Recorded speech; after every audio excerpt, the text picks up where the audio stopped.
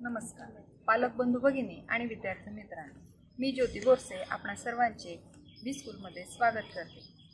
आज आपल्याला इयत्ता चौथीच्या मराठी विषयाच्या पुस्तकातील पेज नंबर चौदावरील आम्ही कथा लिहितो हा अभ्यासपूरक घटक अभ्यासायचा आहे.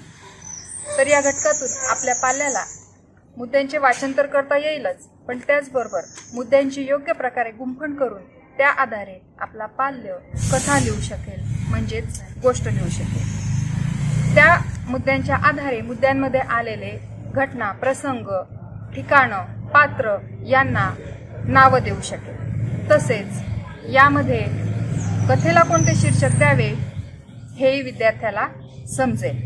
तर आपण या प्रकारे आपल्या पाल्याकडून तयारी करून घ्यायची आणि कथा लिहून कथेचे वाचन करू. धन्यवाद.